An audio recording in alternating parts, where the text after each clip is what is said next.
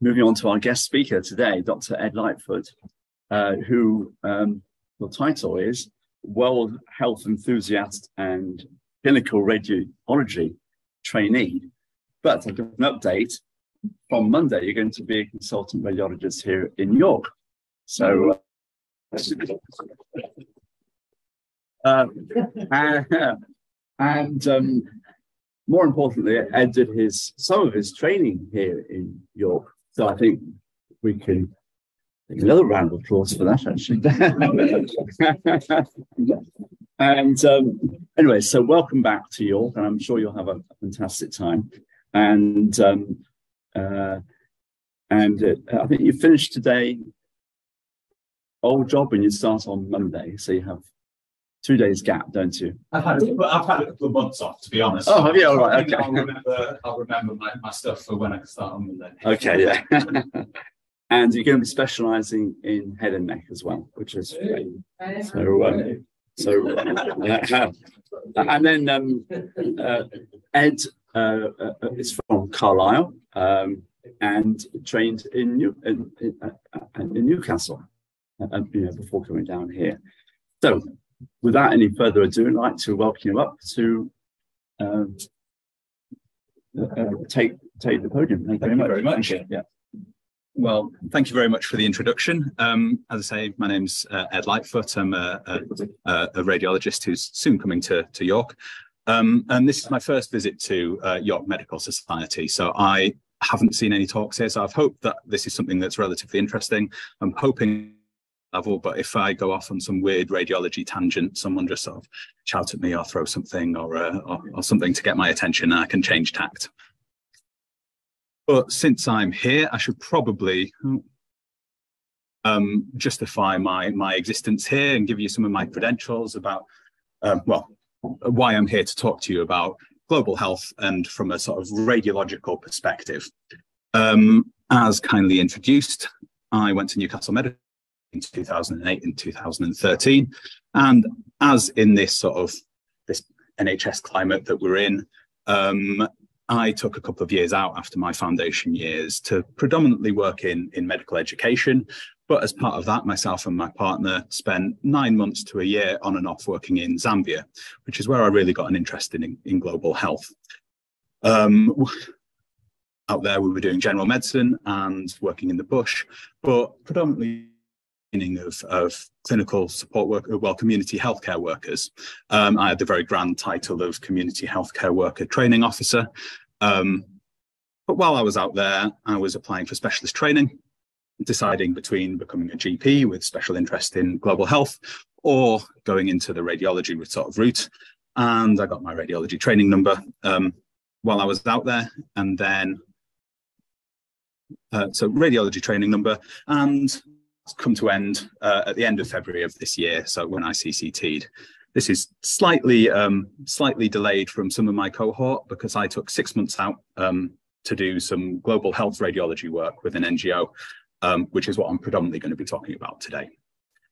And as kindly introduced, I should probably get used to saying it out loud. But as of uh, as of Monday, I'm going to be a, a consultant radiologist in York with a special interest in head and neck radiology. So I'm sure you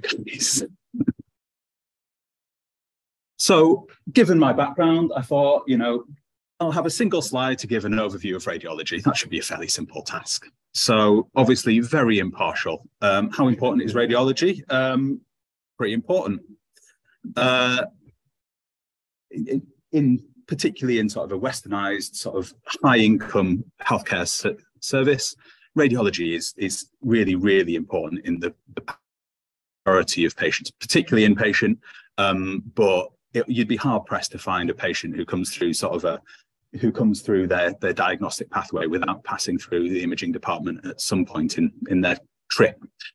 Um, 40, obviously slightly historic data now, but 45.2 million imaging tests in one year in the UK.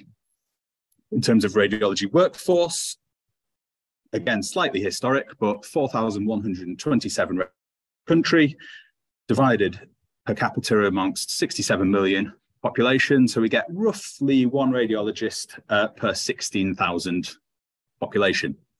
So that's, you know, the UK is by no means sort of uh, stingy or it's been in no means sort of the most radiologists per number. It's actually pretty frugal when it comes to it.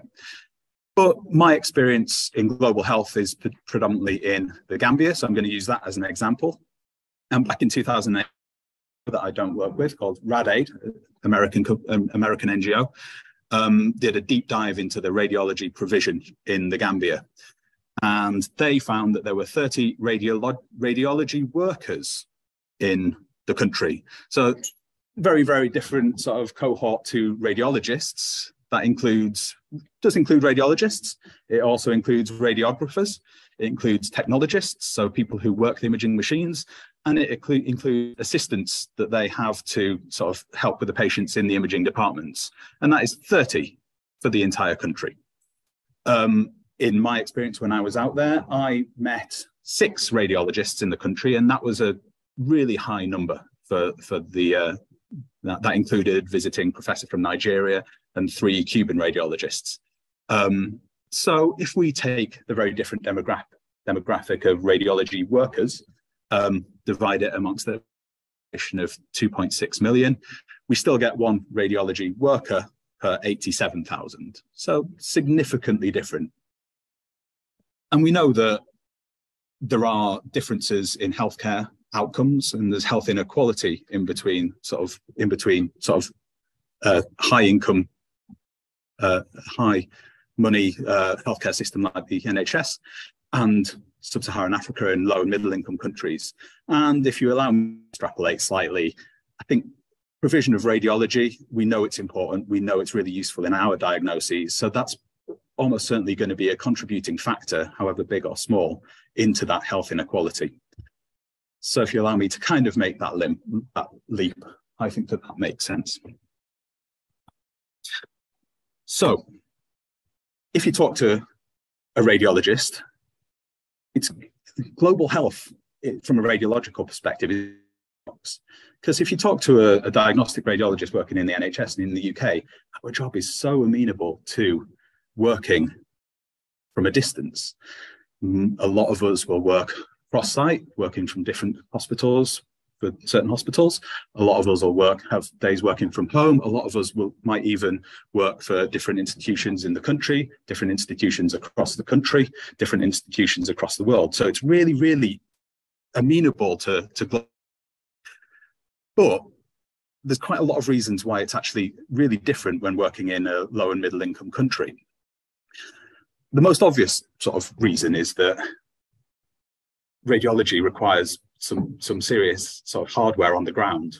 If we want to look at a scan, if we want to look at a study, there needs to be something there that's we've caught it, that we've we've taken the study on.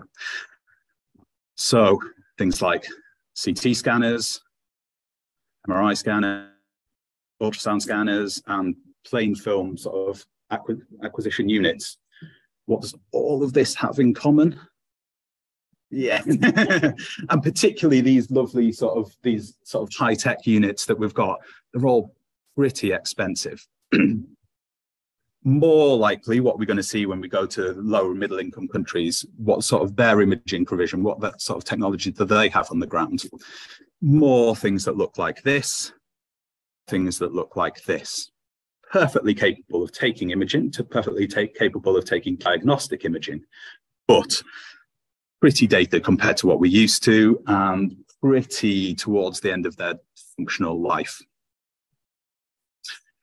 But annoyingly, that's a big a big output. That's a big hurdle to get over in terms of why is radiology provision so different in in a different in these low and middle income countries. Um, but that's the easiest by far hurdle to overcome.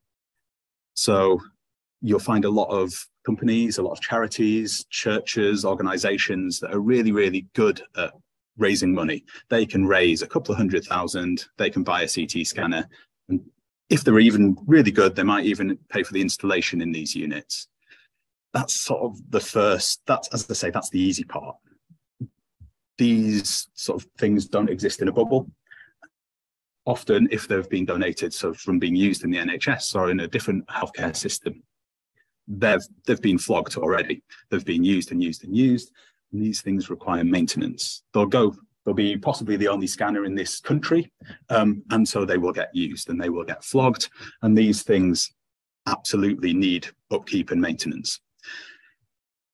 Certainly from my experience, the, the CT scanner in the Gambia where I worked, um, the nearest so could come and fix it was in Senegal, which was over a day's travel away.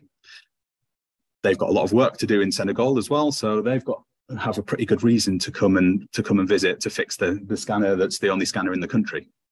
So these things need to be maintained. On top of that, they also need a regular power supply. So, I mean, if you've got a, an MRI scanner, an MRI scanner is a really highly calibrated bit of kit. It's a uh, it's a, a really really sensitive electromagnet that needs a constant power supply to be constantly on. If you go into the MRI scanner and start flicking the switch on and off, it doesn't like it very much, and then we're going to need sort of it someone to come fix that, recalibrate it, and that's a big big ask. So people who visited sort of uh, sub-Saharan African countries, the, the likelihood of getting a reliable power supply is not exactly 100%. but again, that's not the only thing. Ideally, if we've got a nicely calibrated setup and maintained bit of kit, ideally, when we're taking these images, we'd want them linked to a system which can archive the, the pictures, make them searchable, and link them to patient identifiable data so that when that patient comes back for a repeat scan, we can then compare it to the other one rather than wet film processing, which, you know, you print off their X for the patient, they take it home, they store it however they store it. And uh, if you're lucky, it'll come back, but in various states of, of degradation because they don't have the ability to store those things in the conditions that supposed, they're supposed to be stored. And that's not everything.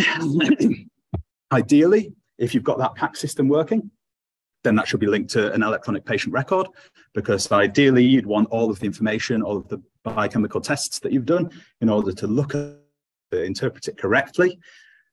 And on top of all of that, ideally, if you're getting teleradiology involved, then you need that to have reliable internet access or at least reliable network access so that it's linked to the rest of the hospital, the rest of the country, and ideally linked to the rest of the, uh, the rest of the world so that someone else can look at this information and, and take it on and to interpret that correctly.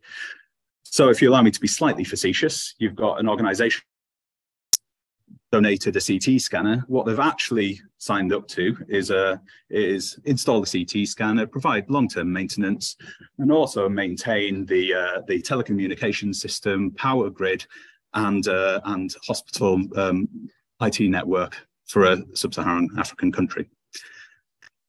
So it's a bit. I suspect that a lot of the uh, a lot of the organisations that do these that raise this money don't necessarily know what they're getting themselves into, and probably bite off a bit more than they can chew.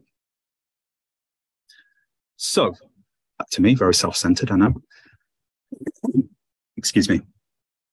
When I started my radiology training, my interest in global health from my previous experience, um, I was looking for opportunities that might arise but because of all of these reasons, actually, it's really difficult to find organizations that are doing sort of global health work from a radiological perspective.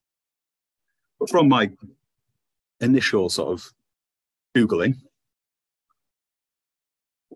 I didn't even find a, a, a decent website. What I actually found was uh, an uploaded PowerPoint presentation that was, well, from a consultant radiologist in who works with Liverpool School of Tropical Medicine, who's Liz Joekes. Um, she'd given a, a talk to um, about some work that she'd done. I think it was via MSF um, and her work in working as a consultant radiologist in Malawi. Um, thankfully, that had an email address at the bottom, and I managed to email her as a as an ST1 radiology trainee, who and she was very happy that someone else was interested in in global health. Um, and by the time that obviously as an ST1, you're not particularly useful. Um, but by the time I'd gotten through my exams and I was ST3, ST4, I recontacted Liz and she had recently established a new charity. So this is worldwide I came to, to work with. Founded in 2017, um, initially with the, the view to improve sort of imaging access and, and access to radiological expertise um, across the world and try and narrow some of that radiological inequality and health inequality. Um, now there's 35 long-term volunteers. I suspect there's more than that um, who work with in a variety of different spheres, not just radiologists. Now there's radiographers and all sorts of people who are who are really really valued. They work in a number of different African countries. So as I say, Liz Liz worked a lot in Malawi, and my experience came in working in the Gambia. What we do is we a lot of our work is in education and training. So online education, supporting sort of radiology trainees in um, wherever there is an established radiology training sort of system. So in Malawi, and we'll also mentor staff. Um, there's a huge deficit of radiologists in in African countries. And so um, Karen Chikuti, who's one of the consultant, is a consultant radiologist who works in Malawi, I believe is the only consultant radiologist there. And so having some professional support from other radiologists is actually really valuable. Because there's such a deficit of radiologists, in order to try and narrow that imaging gap, we also do POCUS uh, teaching. So that's point of care ultrasound. To a lot of other radiological tests is cheap and accessible.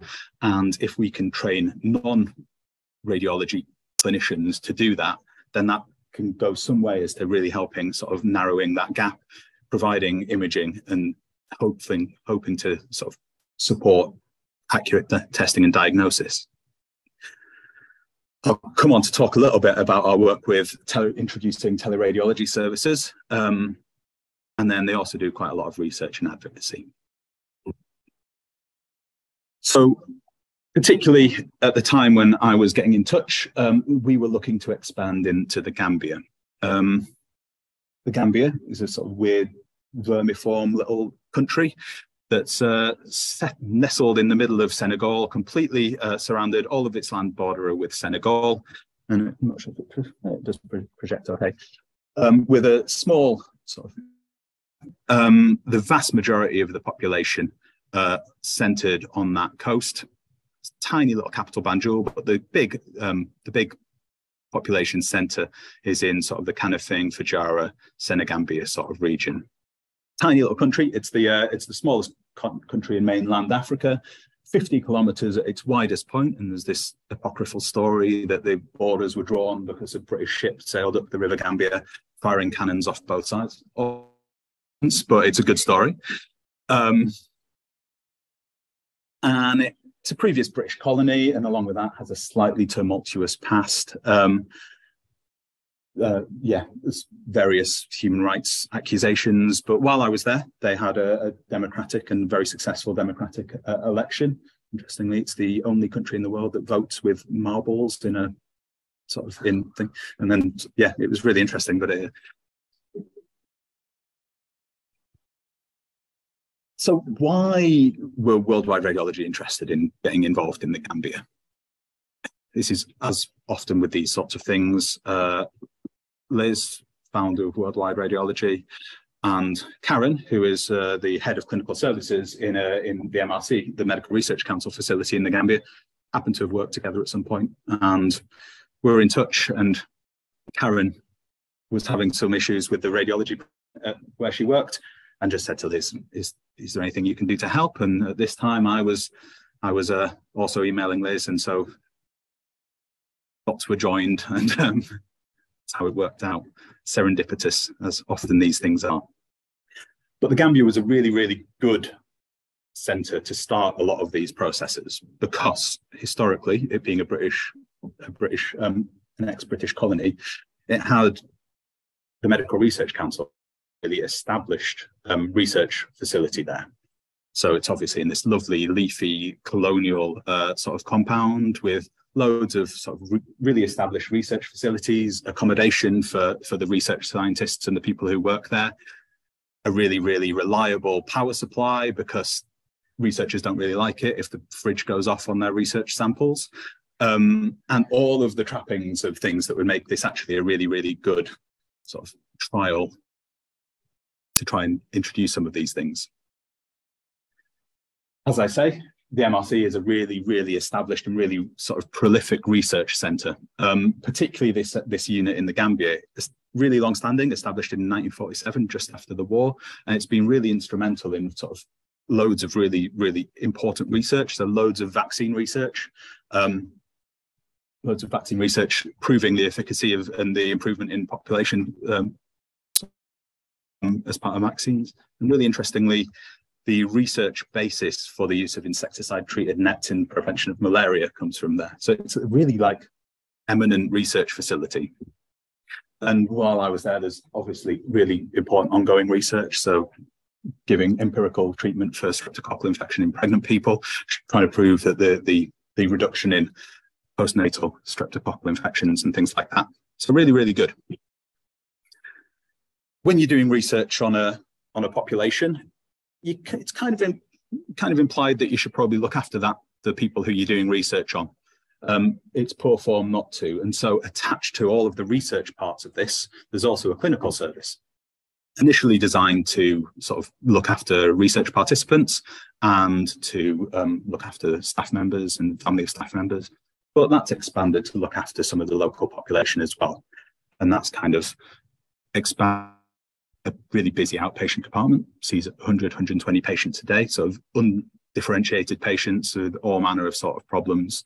And then for the patients who need it, there's a 30 bed inpatient unit. I think that probably expanded a little bit now, actually, since I was there, but split over three wards.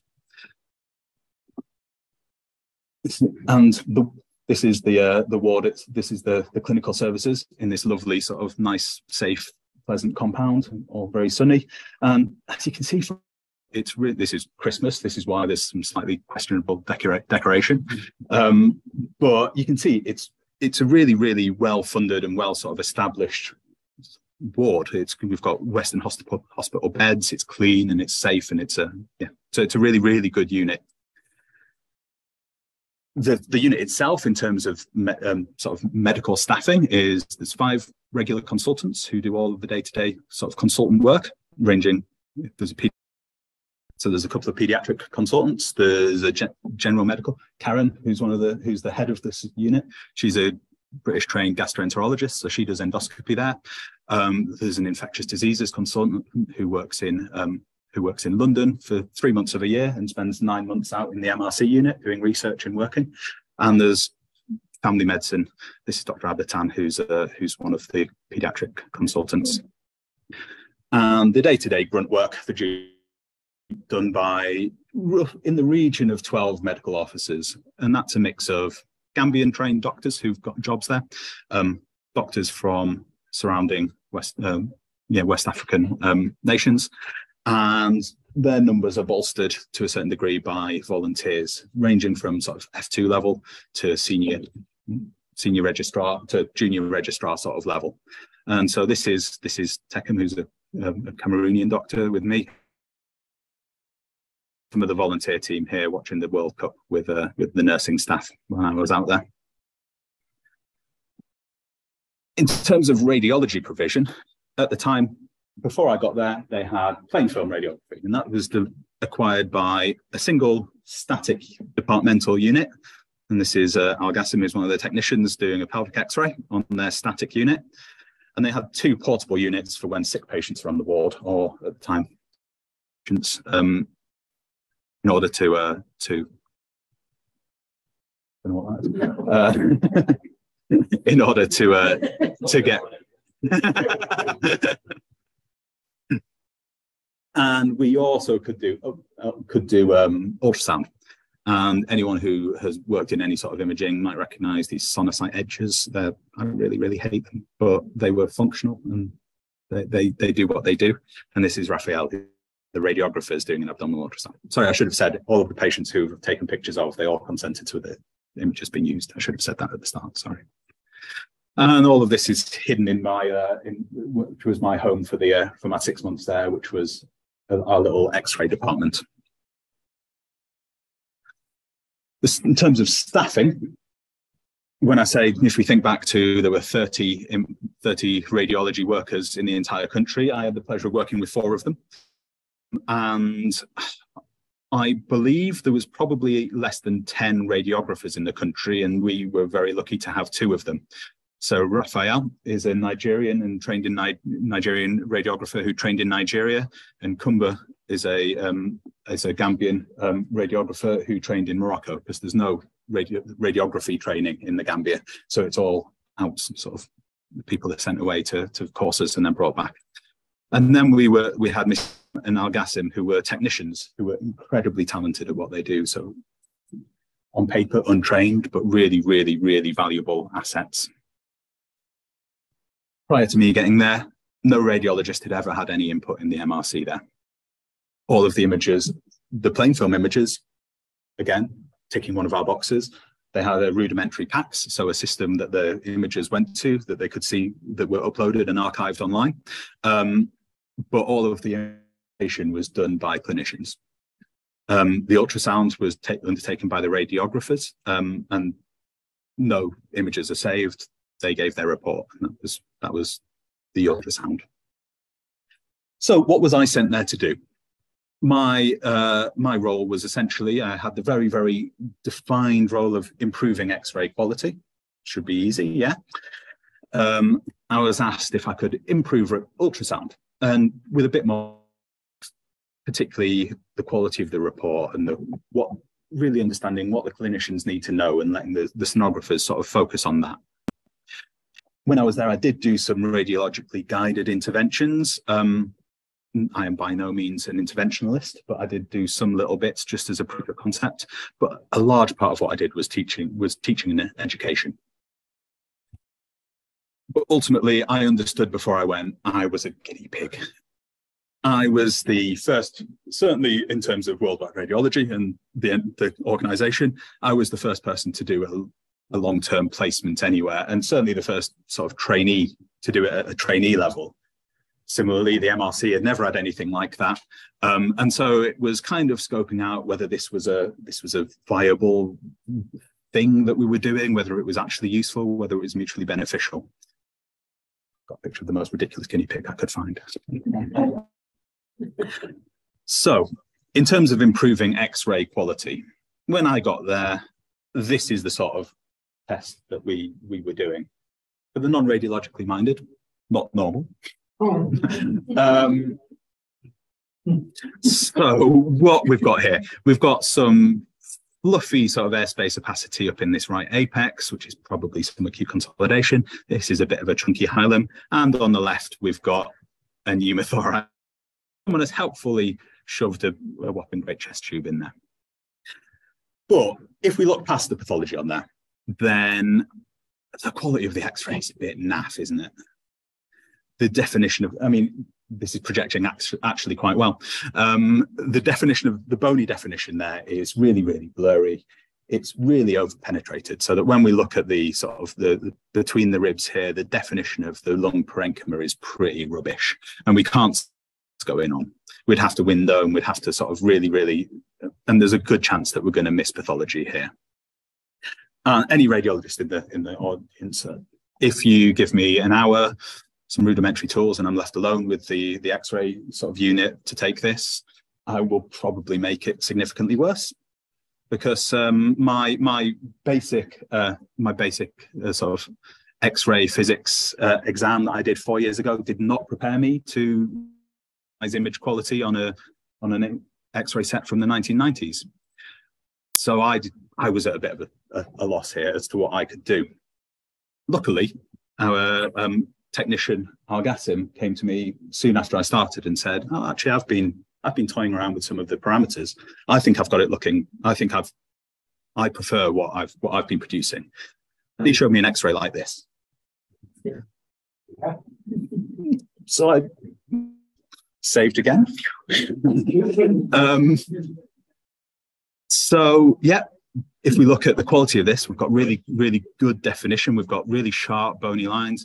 And looking at the lung parenchyma, we can see we've got we can see some of the vascular structures. We've got a little slightly suspicious and concerning nodule here, here, and probably another one somewhere over here as well. Um, so I yes, I guess I agree. This is significantly better. And previously, he sort of got a lot of pushback from some of the clinicians being like, no, we want it how it's always been. So this is still touted as probably the longest lasting and most important change that I did while I was out there. And my my entire role in this was to have the word doctor in front of my name and to be reassuring to them no, you'll get used to it. It's better, trust me. so this is now the sort of quality of, of X-rays that we're we're producing there, and it's all down to to Al Gassim really. So one tick, six. If you look at them next to each other, it's night and day, isn't it? So in terms of improving ultrasound, again, this was my, my job here was pretty simple because Raphael and Kumba are really, really, really highly trained, really capable and really keen radiographers with a good background in sonography. As I say, doing some things like obstetric ultrasound. I, Raphael did that. I didn't touch it because he was much more experienced. What they weren't experienced with was in all in communicating to their findings and having the the backing to say what they thought to the clinical team. Because of their training, they didn't really feel confident to say, no, this is my findings and this is what I think it is. And all it took from me was honing some of their reporting skills, some of their communication skills, and getting them to talk to the, the doctors on the wards, being like, no, no, these these guys are the, the imaging experts. You guys have asked for this test. And a lot of it was actually getting the clinicians to ask the right questions to these guys. So this is this is Raphael doing a, a departmental ultrasound, and then I also took out one of these new butterfly ultrasound probes. Um, so we did some some ward based stuff as well. So I was two for two. While I was out there, and anyone who knows me, I am very much not an interventional radiologist, but in my day-to-day work, I do stick some needles into necks and things like that. Proof of concept, I thought I can show the clinicians how useful radiology can be in that sort of regard. So this is me on the ward sticking, a, a well, draining a, a, leg abscess. I say leg abscess. This leg was more abscess than leg, really. Uh, we can see on here this sort of uh, black, sort of hypoechoic and speckled bit here is all pus. And um, the gentleman was significantly happy once I drained some of it, although I didn't drain all of it. I got latte sort of stuff out to um, to send for culture. Um, unfortunately, when you are doing sort of ward-based um, ward-based in ultrasounds and interventions in a country at the height of COVID pandemic, I was out there at the very very peak. Um, and the Gambia is obviously a West African country, and they've been preparing for for pandemics for a while, Ebola pandemics. And so they really didn't do um, PPE by halves. Um, so this was any anyone who was suspected of COVID. This was what we uh, what we went into our wards with. And if you are sitting in uh, West African West African heat, um, doing a fiddly little intervention, it taught me that I was significantly more built for north of England rather than, than African temperatures. Pretty gross. Seriously, part of most of my uh, my my role there was in teaching and education. And so monthly they would have a, a meeting, uh, an X-ray meeting where the, the, clinicians there described it as the blind leading the blind. So I would be, um, so they would talk about difficult cases and I'll sit there and nod and say, it's difficult, don't know what's going on.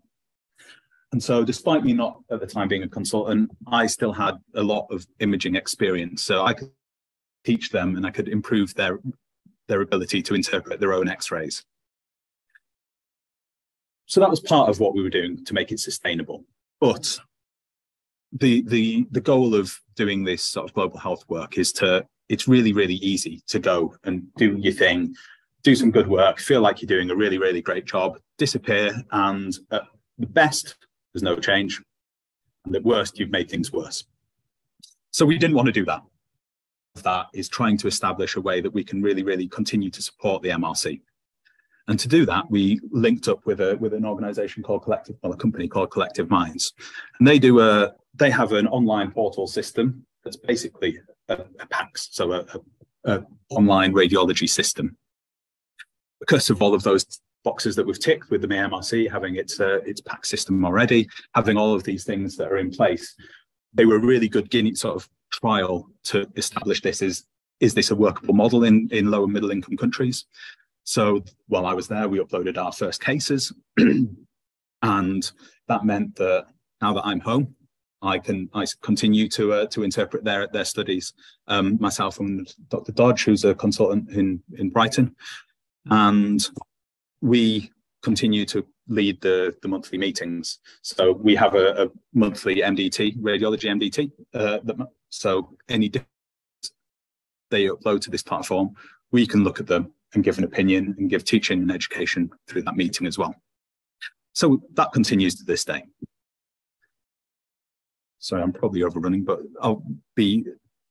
While I was also out there, I also wanted to um, get involved with not just this like sanitized, lovely, well, well, sort of well um, provisioned MRC unit. I also wanted to get try and get involved in the local healthcare system, and that. So I spent a day a week in Edward Francis Small Teaching Hospital. It took me an embarrassing amount of time to to realize that this is a teaching hospital named after a really cool uh, Gambian trade unionist called Edward Francis Small. It's not a small teaching hospital named after someone called Edward Francis. It was quite small, but uh, and that this is their tertiary centre. A variety of surgical specialties. There's no surgery done in the MRC. So orthopedics, neuro, they do have a neurosurgeon, um, and they've got some ophthalmology um, obstetrics and gynecology, peds. Um, and weirdly, um, it's really easy to get dialysis in the Gambia. I think one of the uh, the old um, president's family members had renal failure, and so weirdly, dialysis you can get. And radio provision in EFSTH, as I'll call it, from this slightly more sprawling and slightly less organised um, sort of imaging department. And at the time that I was there, there was a uh, visiting Nigerian professor in radiology who she was also helping to improve um, radiology provision there. But the vast majority of the work was done by people like Dr. Adalis, who's a Cuban radiologist. And if people have done global health work before, Cuba has a big outreach sort of uh, system in order to provide or support healthcare work in um, in other countries. Dr. Adalis initially went out for a year. Um, when I met her, she was on her third year there and was, was going home soon and was very much looking forward to that. But she was an absolute workhorse. And what sort of things could we get at EFSTH? I mean, we can get X-ray, but um, as I, in comparison to the uh, to the MRC, these are X-rays that have printed off and are drying at the uh, outlet of the uh, the air conditioning unit. they were going to be sent with the patients to be kept in whatever conditions that they were. Um, I've shown this picture before, but this was my ultrasound machine. It's a slightly dated, slightly crumbling little thing. This was my my unit that I worked on while I was there, using a um, a slightly bizarre sort of 3D obstetric probe that we just used for everything because that was the only probe that we had. Um, so not ideal. But there was a CT scanner. Um, and I say ish there. Um, the six months that I was there, the CT scanner was working for about three weeks. um, the CT scanner that we had, as I say, this is a two slice scanner, and to the non radiologists, to in the sort of NHS, we're usually working with sort of 64 slice scanners, 128 slice scanners. So this is probably from the sort of late 90s, early 2000s, maybe even earlier. Ideally, we'd like when we're taking that, we've got that study, it'll be sent off and it'll be uh, it'll be we can review it on a on a reporting station or PACS monitor. But no, all of the image interpretation is done from this computer here, which is this here, which is the the, the console, the the CT console. So you can't scan and interpret at the same time. You have to scan, look at the images, get a, get a radiologist looking through the report, and then you can do another patient. The teaching hospital also has an MRI scanner. I do not have a picture of the MRI scanner because in the six months that I was there, it did not work. and it hadn't been working for several years. But when it does work, it's a we, we measure the the strength of well an MRI scanner is based on this, the strength of its magnet. Um, so they have a 0.35 Tesla MRI scanner. In the UK, I mean, I think Leeds, so the LGI has one of the oldest scanners MRI scanners still working in the NHS, and that's a 1.5 Tesla. Some lucky places have a, a, three Tesla MRI, and some research facilities have seven Tesla MRI. Um, this was a, it wasn't even a donut; it was a, it was two flat plates. So the, they technically have an MRI scanner, but because of all of the problems we've we've looked at, for all intents and purposes, they. Anyway, I thought just to finish off, I will show some cases. I don't know if that's interesting or useful, but um, uh, and these are all coming through the MRC. Um, we have a 35 year old gentleman, so someone just a couple of years younger than me, um, who for more than half of his, or just under half of his life, has had a cough. He was incredibly cachectic when we saw him with a BMI of 13.6. And when his we did his X, it looked like that. Again, to the non-radiologically minded, not normal. so yeah, this is a frankly abnormal X-ray, especially for a 35-year-old, and it's the sort of changes that you don't see in the UK at all. Left lung is a tent essentially there's no functional lung there. This shadow here, this opacity, is his mediastinum that's entirely shifted into his left hemithorax. There's some in the left apex, there's you can't really see any lung parenchyma there at all. And again, in the right apex, there's this big sort of cavity bulla thing here.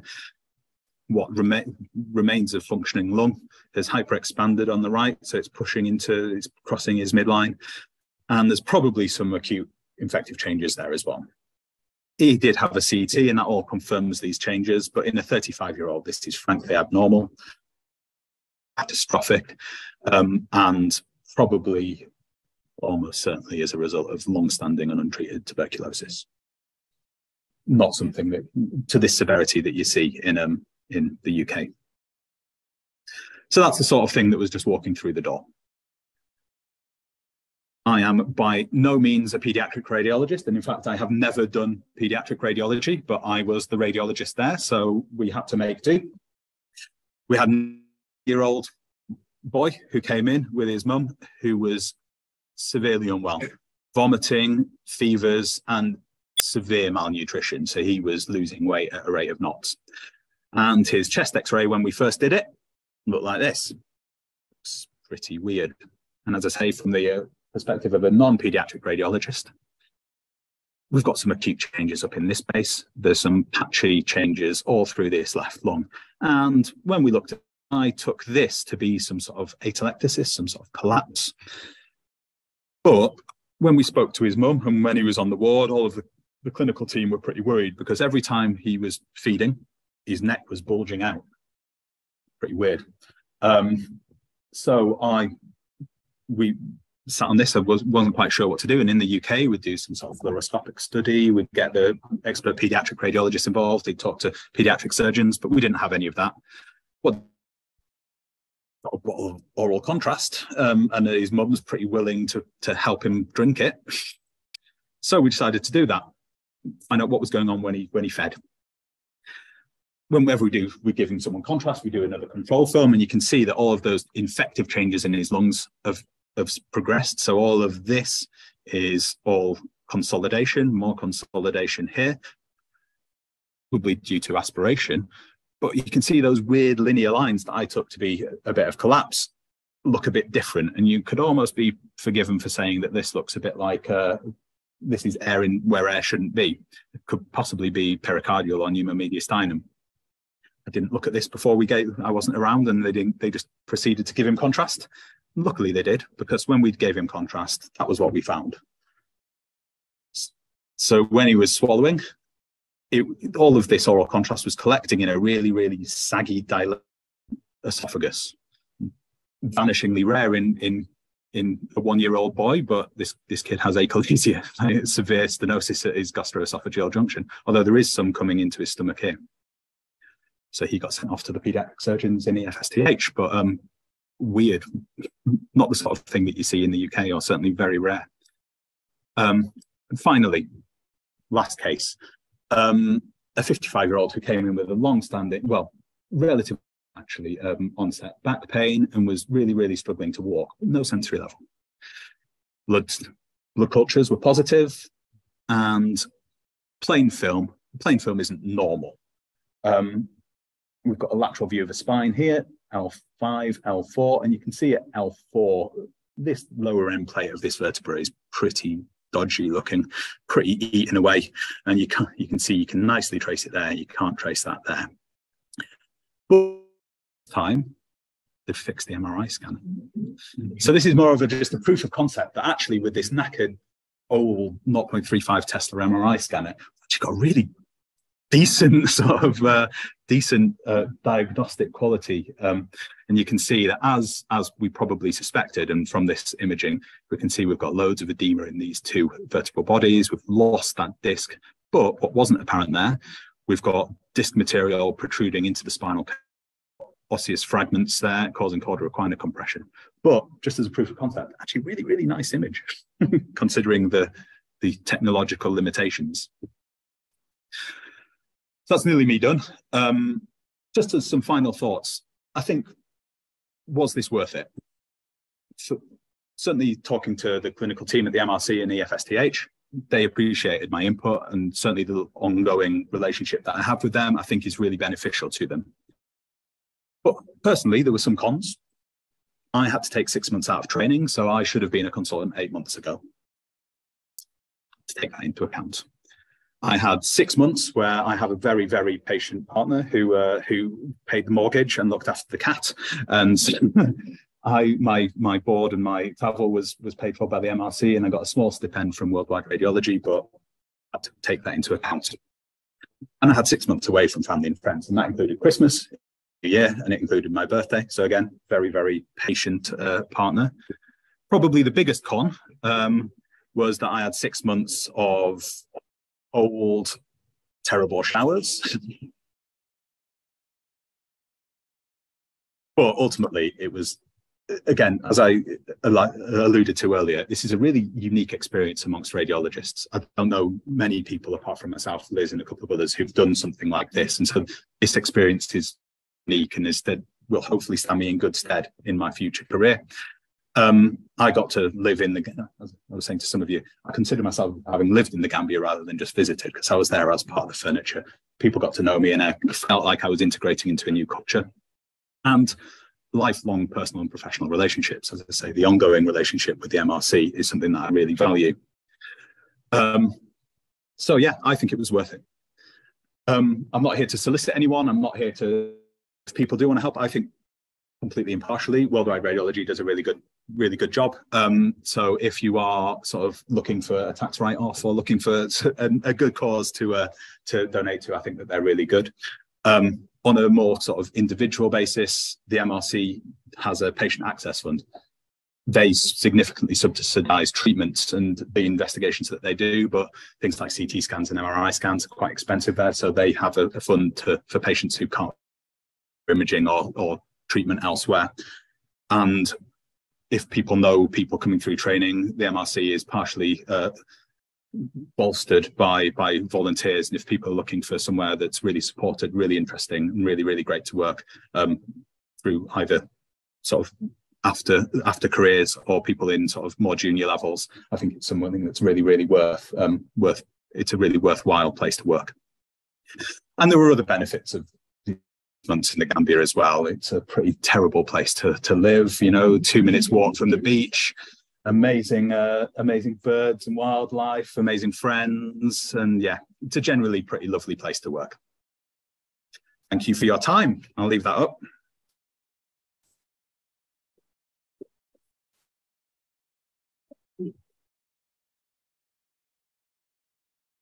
Thanks, Ed. Um, You're very welcome. So um, I'm going a few more words now, Okay. but then we've got a vote of thanks from from uh, uh, the, the server there. So what, what we'll do is just take in some questions first of all. Um, so um, uh, uh, any questions from the floor at all that people want to ask? Right. Okay. Well, we'll start with you, Andy. Hey, that's really enjoyable. Do you still want to do work with global health? Absolutely, yeah. And it's something that I, oh, sorry, yeah, yeah. stand there. Yeah. So whether I want to do work with with global health in the future as part of my consultant career, absolutely, and it's something that I will um, hopefully build into future job planning. Um, I think that as a sort of the NHS, I think it's a, a big accolade for a, a, an institution to be able to to work in global health. I think it's something that we should all be striving to. I think it's something that we it looks really good, and it should be something that we all hospitals in the NHS should be working towards in order to support.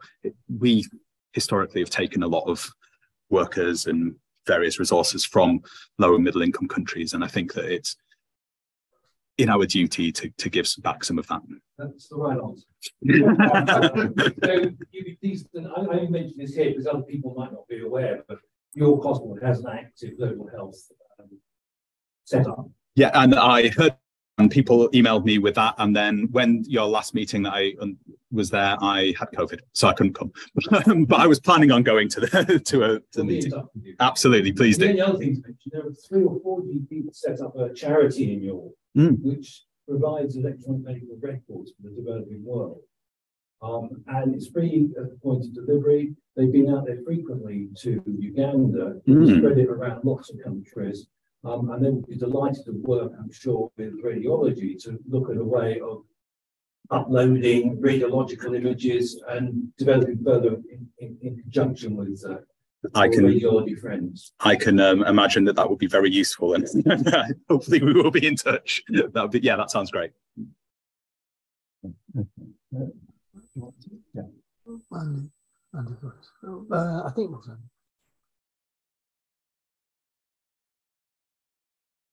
people.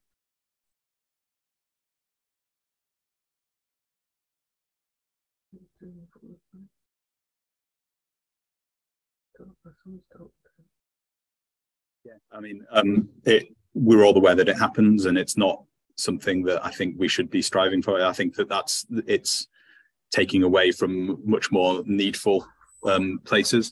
But I hate to say that sort of from an individual perspective and talking to people who sort of the radiographers in in the Gambia, a lot of them want to come and work in the UK because because financially, um, but also for training. Um, so one of the radiographers that I work with, when he came to he the Raphael, who's Nigerian, came to work in the Gambia, and all of these other radiographer friends were just like, nah, you're going to the UK, aren't you? Come on. And he was, no, I'm going, my brother works in the Gambia, that's where I'm going.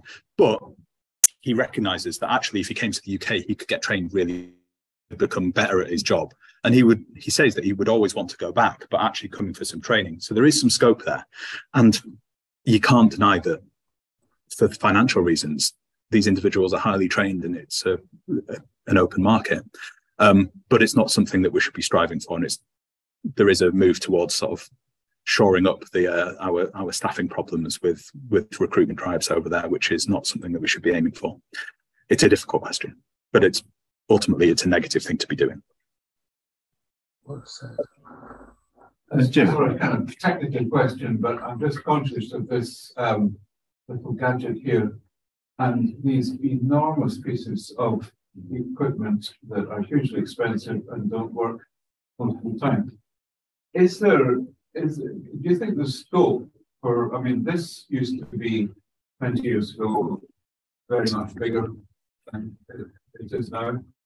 Oh. And is there a scope of rethinking imaging in the sense of what can you do with, with uh, cheaper, smaller equipment? So when I came, went out there, I the, the charity bought me a um, what this is a by a company called Butterfly. And this is an ultrasound scanner that has all built in sort of different types of probe. You can do sort of cardiac scanning, abdominal scanning, sort of soft tissue scanning, all from that. Um, this together cost a couple of grand. Um, so that sort of thing is was unheard of five years ago.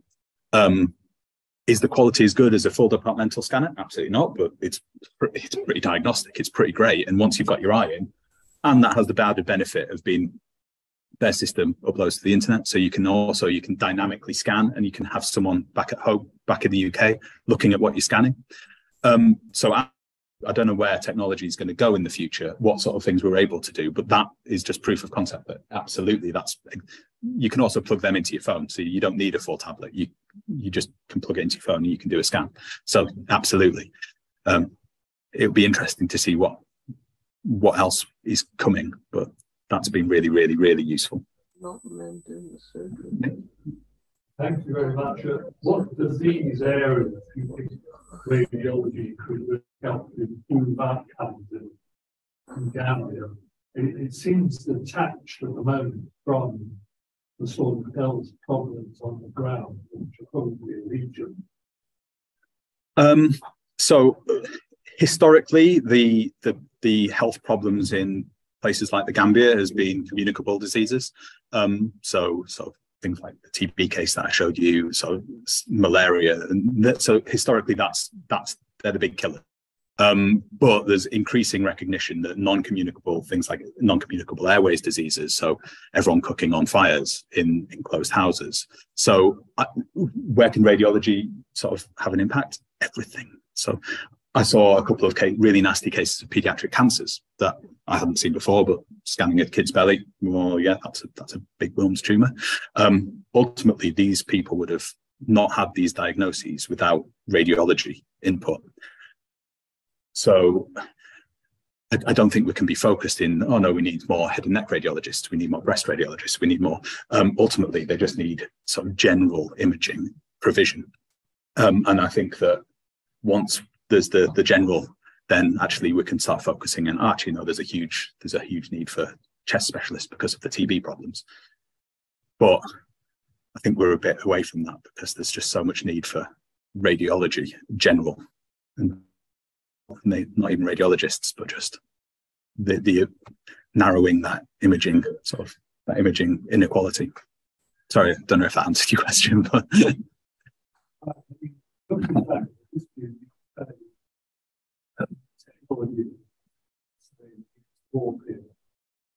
Uh, the big plus from the use of X-rays was in the treatment of fractures. Hmm. Because there were a lot of fractures, people having sacks or ships and so on, cells. There were a lot of fractures that are very poorly treated on the whole, and treatment somewhat improved with the use of very simple X-ray equipment. Yeah. Is that still happening? Absolutely. So trauma is very much a thing there. Um, and we had the best X-ray setup of, of the entire of the Gambia.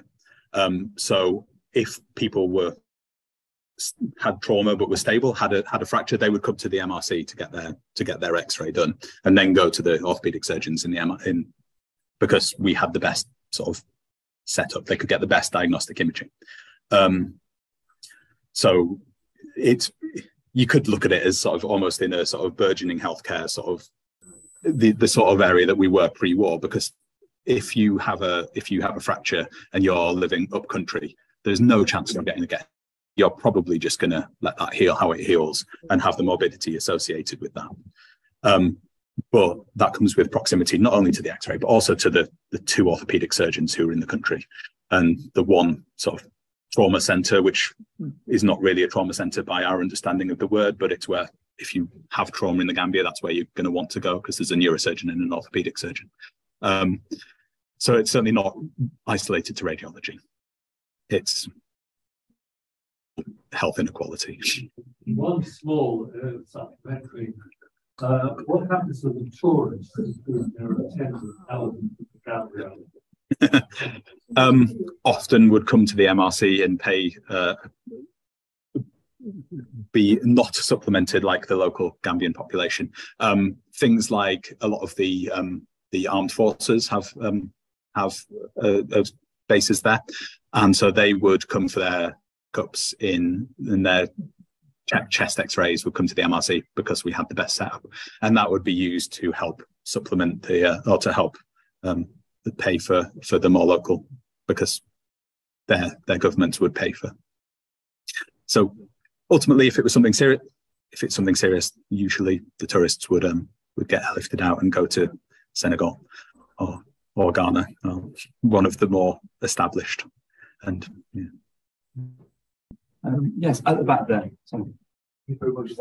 I just wonder, is there any? How do they popular Gambia see radiology and imaging in general? Is there are there any cultural barriers, any magical, superstitious, or religious barriers to, to having imaging? You this country has its own cultural uh, issues as well. But uh, did you come across anyone where they were resistant, or they thought of it as a in, in a way that was slightly suspicious of, of what you're doing? Because it can to me. so um, not specifically to radiology, but to Western medicine, definitely. And occasionally you would find patients who were more superstitious who would have tried a variety of local healing and sort of witchcraft sort of uh, treatments and have progressed to the point that they were desperate. And then finally you'd find patients coming who were who were really, really in a in a pretty pretty poor way and their final sort of last, last act of desperation is coming to Western medicine and coming to the MRC because that's that was known as sort of somewhere that was that was good. Obviously, there is some sort of skepticism about the MRC linked into its colonial past, and there's there's rumours that no, you don't go to the MRC because they steal your blood. They they'll take blood and they'll they'll they'll sell it. Um, that again, that's part of the the kind of cultural sort of buy-in that you have to try and you have to try and earn the trust because of obviously all of the history. Can't really blame people for not really trusting, uh, but that's that's part of the work that we have to do. Um, it's really nice. Um, just a couple of questions really, which interesting. How is the MRC funded? That from the British government? So so the MRC, my understanding is that it um, it's funded through scientific grants, through sort of through. Um, um, I think they also sort of have their own grant system and things like that. And the MRC is a really, really big sort of organisation. They've got institutes all over the all over the world, in Africa, various other places, lots in the UK. Um, and the clinical side of things was supplemented by the research side of things, because in order to do the research, the clinical there, so part of their funding went into the clinical, um, the clinical unit there. Is that, that, is that fairly stable? Um, whether whether scientific funding is stable, uh, as the MRC is a is a really really prestigious and sort of large institution. So if it's going to be stable anywhere, it will be stable there, and their research output has been really really strong. Um, they would be wanting to keep that as the the unit there going as much as possible. So I think as stable as it can be. Okay. Because I've been to Cuba last year, I really enjoyed it. And one thing about Cuba is is that how remarkable they are at educating people, educating well in education And with the outreach program, do they go there for a long time? So Dr. Odalis and the, the other two Cubans who were there um, it, for a year, essentially. Um, but because of what happened in the world and COVID, um, she got slightly stranded out there and was was there for three years. Um, a lot of the medical education, so Gambia has its own medical school, um, and a lot of their education is done by by Cuban doctors as well. So during that time, Gambian doctors faltered because they couldn't get new Cuban doctors out. Um, so they, they do have a, a short-term period that they're there, but obviously with what's been happening, that did was uh, prolonged slightly for some individuals. Okay. Shall we move on to, to uh, Thanks now? Thank you much. Tim.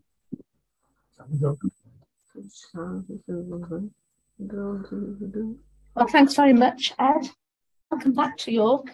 And I'm sure everyone in the radiology department in York will be really pleased that you are uh, starting there on Monday.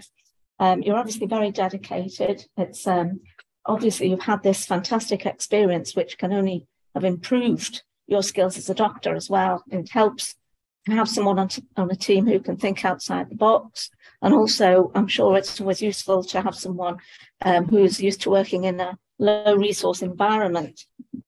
We like to complain about the NHS, but really, I mean, we are so well off compared to other countries like this, and we, we shouldn't complain as much as we do. A lot of what we complain about are things that aren't visible Um, whereas a lot of the deficiencies in, in the healthcare system you've been in are very visible indeed. Um, I was very interested about the uh, the ultrasound that you discussed. Um, because ultrasound in this country was introduced really in the early to mid 70s, and it took a while to get acceptance. And I remember even when I was a radiology trainee in the 90s, and um, there were some clinicians who just didn't accept it at all. And one of them, in fact, called it hocus pocus. So I was interested in the, the acronym that, that you've had. Yeah, uh, very anti ultrasound. And yet, I remember a senior registrar saying to me, watch out for ultrasound. There's always going to be improvements in ultrasound. Uh, all the rest um, are going to struggle to keep up with improvements in, in ultrasound and how useful it is and how underappreciated it is. And certainly, if you had to take something to a desert island, you'd want an ultrasound machine, wouldn't you? Um, and obviously, I mean, fantastic that they even had any MR scanner, but it's quite obvious that probably it wouldn't be working. I'm not surprised. Whereas I'm sure the ultrasound, it's it's a sort of quiet, very important uh, thing. Yes. Um, also, fantastic that you were so involved in education, and there's lots of um, of scope for that everywhere. And uh, I think education has an exponential value in what it can pass on, and particularly somewhere um, where they've got hardly any uh, personnel, and everyone's probably really keen to learn, and they can pass on what you tell them. So fantastic. Had with um, with sort of world um, health, and uh, obviously maybe you can get the X-ray department at York to be uh, participants in that. So, as I say, welcome and good luck. Excellent. Thank you very much.